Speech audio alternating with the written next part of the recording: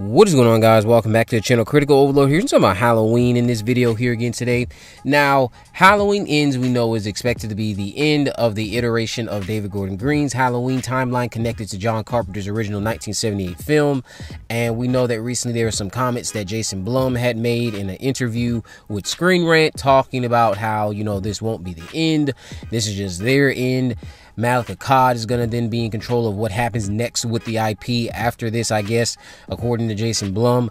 And now, a rumor that I heard from Fandom Empire during a live stream that they did, and I'll leave a link to the live stream in the description, is is a it's basically a live stream where they went over, I guess, the big rumor right now who is going to be getting the rights to, I guess, distribute future Halloween movies going forward and it's not confirmed again it's just a rumor. But apparently you might be getting halloween movies from paramount pictures. Now just to pause really quick for those scream fans who watch my videos if you're if that makes you concerned about the status of the scream series i don't really think that's anything for people to be concerned about in the sense that let's say they do indeed get the rights to halloween there's plenty of IPs that Blumhouse is is that was that Blumhouse was overseeing, and they were cranking out quality films. Not all of them, but they were cranking out quality films while holding on to a lot of IPs.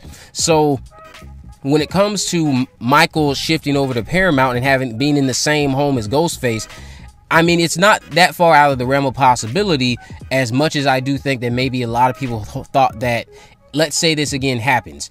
If this is something that's actually being worked on as we speak, then it might throw a wrench in how and how how much longer Michael Myers was actually going to be away. Because I was hoping we would have him gone for at least maybe five years, something like that.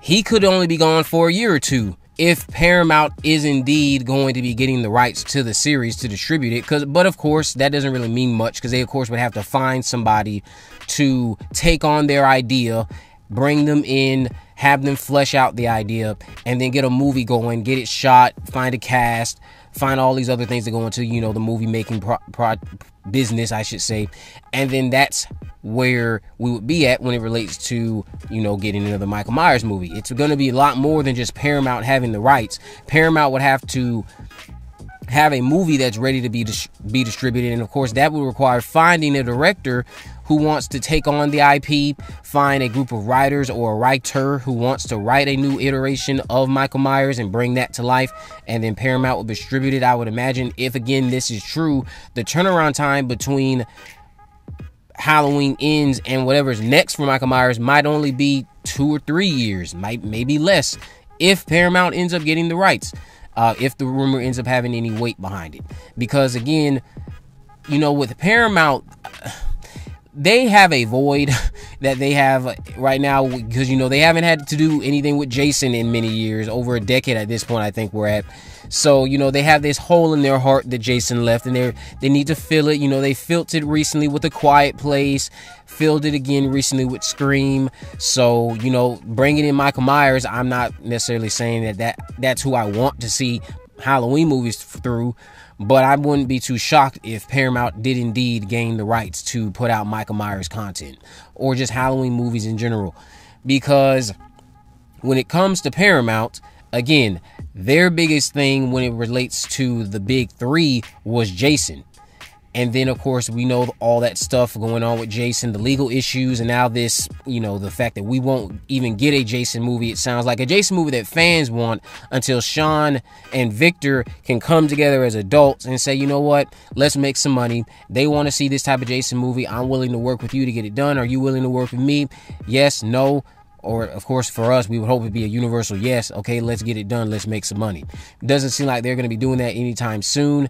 So with one of the big three out bring in the other one. Bring in michael myers.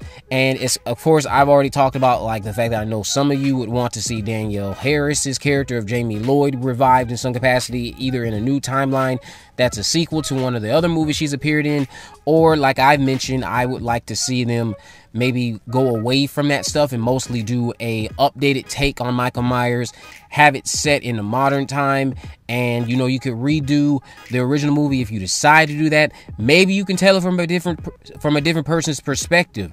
Throw in some other new details that we didn't have introduced in rob zombie's remake and shake it up a little bit more and but still be in the same vein of what that original movie was. We don't have to have Laurie Strode or anything like that. You can introduce all new characters outside of just that same basic opening where you have a young boy killing his sister taking to Smith's Grove for 15 years breaks out goes home finds these people in his house or something maybe like that again something similar to halloween resurrection maybe but but much better and you don't have to worry about Laurie Strode or anything like that. It could just be the same general idea of what we've already know to be the truth with Michael Myers, but you don't have him hunting down anyone named Laurie Strode. He's not going to be hunting down anyone named Jamie Lloyd. He's not going to be hunting down anyone that we already know about. I would probably also erase Dr. Loomis. You could still have a doctor or somebody in there, but I would shake it up a little bit. The only thing that would still remain the same in my mind and what would probably be best in terms of keeping everything fresh, the only thing that should remain the same is the fact that, of course, this is about a killer named Michael Myers who escaped Smith's Grove. He killed his sister 15 years ago. He's returned home to wreak havoc, and you can go from there. Introduce all new characters, though have us develop these characters, grow attached to them, and see what their struggles are like. You know, just do everything differently outside of Michael Myers and him killing his sister in 63 or whenever you want to do it in. Because, you know, the Laurie Strode stuff, that's coming to an end with Halloween Ends. So I think, you know, we should take a take as much oh, steps away from that as we can for as long as we can, given the fact that this is also Jamie Lee Curtis or expected to be Jamie Lee Curtis's final portrayal as a character.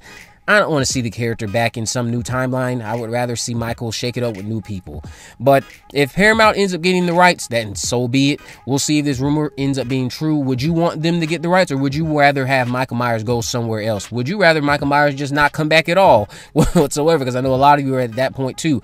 You're content with what you got and you don't want any more Michael Myers movies. But let me know what you guys think about that rumor down in the comment section below. And again, I'll leave a link to the description to the Fandom Empire live stream so you can watch it and hear where this came from. If you haven't already, of course, make sure you subscribe. Turn on post notification, you never miss a video. In the description, I have links to my social media accounts, my Facebook, Twitter, and Instagram. You can message me there, of course, if there's any movies, news, or reviews you'd like me to cover in the future. And with all that in mind, guys, I will see you in the next video.